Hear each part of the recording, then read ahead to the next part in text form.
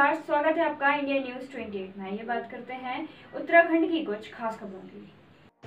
उत्तराखंड के हल्द्वानी, नैनीताल में कांग्रेस का लोकतंत्र बचाओ विरोध प्रदर्शन। लोकतंत्र बचाओ, संविधान बचाओ के तहत पूरे देश में चल रहे कांग्रेस के विरोध प्रदर्शन का समर्थन करते हुए आज नेता प्रतिपक्ष इंदिरा हरद्वेश ने हल्द्वानी स्थित बुद्ध पार्क में केंद्र की भाजपा सरकार के खिलाफ जमकर नारेबाजी करते हुए सांकेतिक धरना देकर सिटी मजिस्ट्रेट के माध्यम से महामहिम राज्यपाल के नाम ज्ञापन सौंपा।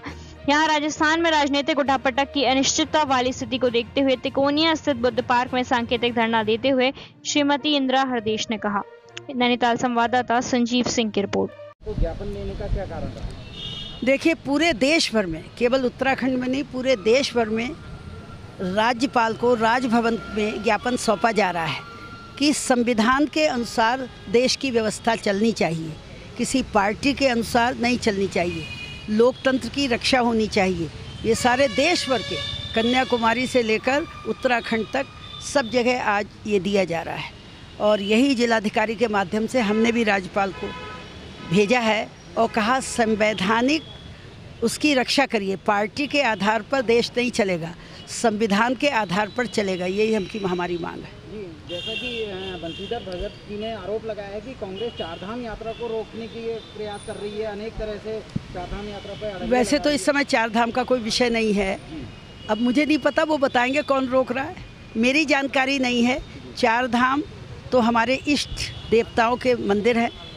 हम स्वयं वहाँ जा चुके हैं सब जा रहे हैं। बंशीधर जी ये चिंता न करें वो केवल भारतीय जनता पार्टी के लिए नहीं चार धाम वो कांग्रेस के लोगों के लिए भी चार धाम है।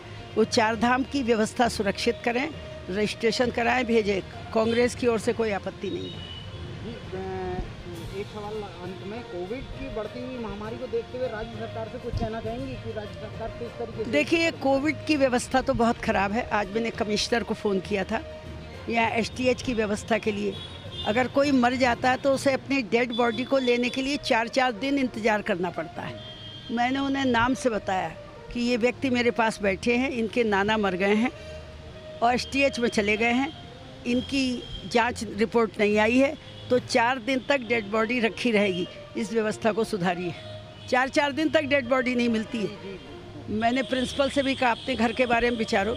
कोई मर जाए और डेड बॉडी ना मिले तो क्या हाल होगा घर वालों का? तो इसलिए व्यवस्था बहुत ख़राब है। इस व्यवस्था को स्वयं मुख्यमंत्री ने बयान दिया है कि मेडिकल कॉलेज की व्यवस्था ख़राब है, कमिश्नर देखेंगे। इसीलिए ने, मैंने कमिश्नर से फ़ोन किया कि यहाँ ऐसी मशीन नहीं जो तत्काल घंटे, दो घंटे में रिज़ल्ट दे सके। उन्होंने कहा, वो हम लगवाएँगे।